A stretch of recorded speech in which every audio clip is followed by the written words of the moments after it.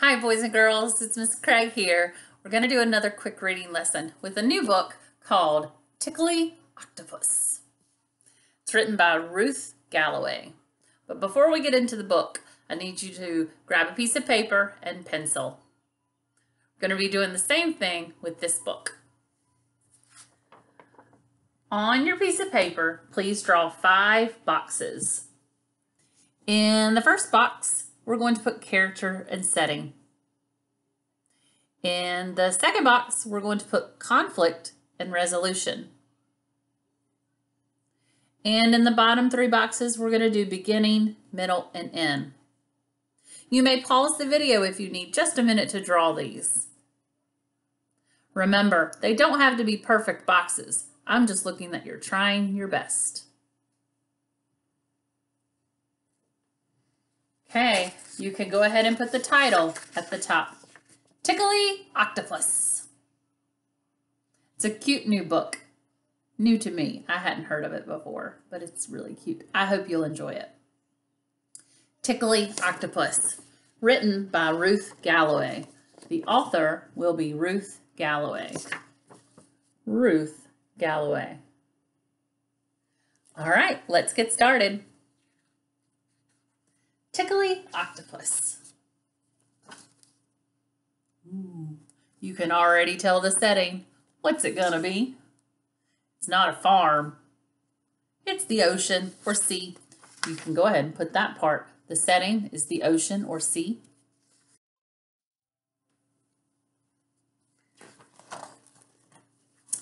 Down in the ocean among the swirling seaweed and the colorful coral lived a tickly octopus.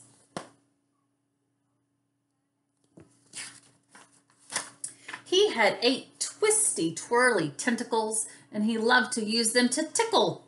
When octopus tickled the little fish, they jumped and jiggled and wiggled and giggled. They thought tickling was tons of fun.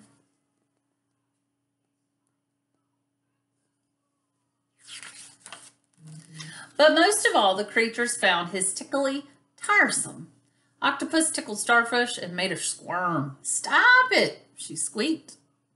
Octopus tickled Clickety Clackety Crab, and Crab tripped and tumbled in the sand. Go away, he snapped.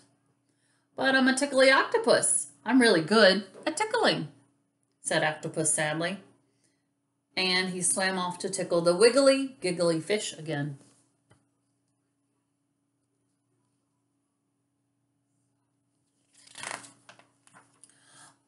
One day, Octopus saw Oyster snoozing among the seashells. He couldn't resist giving her one teeny tiny little tickle.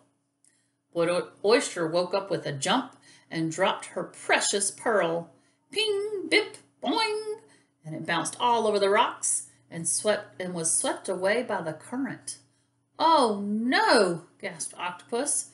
Poor, poor, poor Oyster was very upset. Sorry, said Octopus. I'll get it back for you. So if you'd like to, you may pause the video. We just found out the conflict or the big problem. There's two here. The first one is people, fish, animals are getting tired of octopus tickling them. They're telling them, stop, go away. That's the first problem. The second problem is he tickled the oyster and the oyster lost the pearl.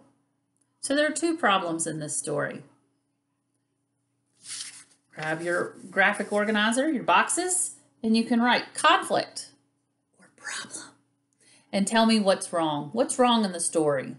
You can draw a picture of it or write it. Let's keep reading and we'll find out the resolution or how the problems are solved, both problems. Octopus raced through the water with a swoosh and a whoosh. Whee! He thought, I never knew I could be so super speedy. Whoosh! Octopus followed the pearl as it tumbled to the bottom of the sea. Wow, he thought, I never knew I could swim so deep.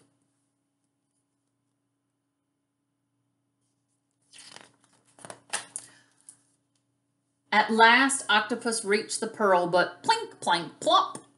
Oyster's precious pearl bounced all over the rocks again, and it slipped through a small gap in the ocean floor. Octopus squished and squashed and heaved and squeezed. He managed to push his rubbery body through the gap. Oh, he thought, I never knew I could be so slinky.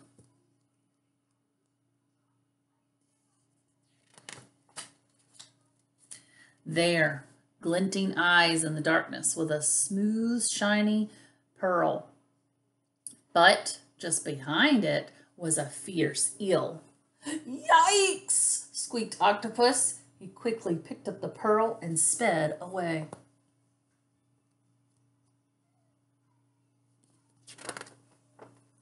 Give me that pearl! roared the eel.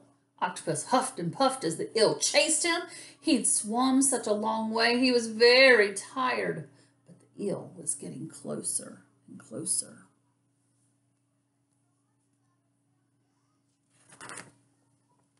With a spurt and a squirt and a blick, the and a skletch, the octopus sprayed a cloud of black ink. The eel couldn't see a thing.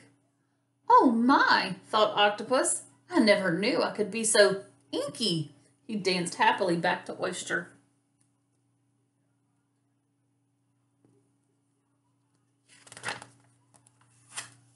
Oyster was delighted to get her pearl back. I promise I won't ever tickle you again, Octopus said.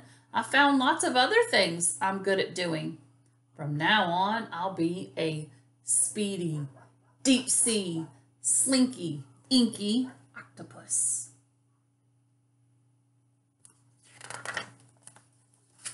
But I'll still like to, a little tickly too.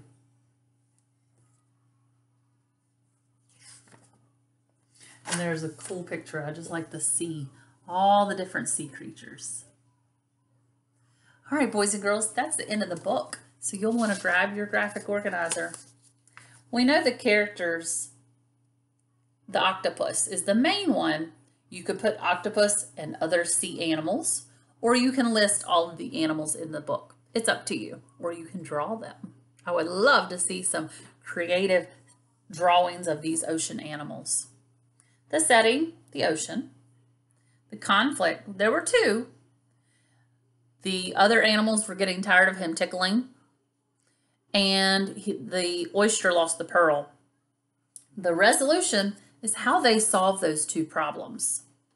Well, I'm going to let you listen, think back to the book or rewind, the video, back up the video, and write down the two resolutions. I'll tell you one, Octopus discovered he's good at other things too, not just tickling. All right, then you'll want to put the beginning, the middle, and the end of the book. Then get mom, dad, or someone you love to send me your work. I can't wait to see your good work. You're doing awesome work. I'm so proud of you. Thanks for listening to my story, Tickly Octopus. Remember to read some good books, boys and girls. I'm so proud of you. I miss you every single day. And I like seeing you on Zoom and Seesaw and Dojo any way possible. I'll see you soon. I love you. Bye.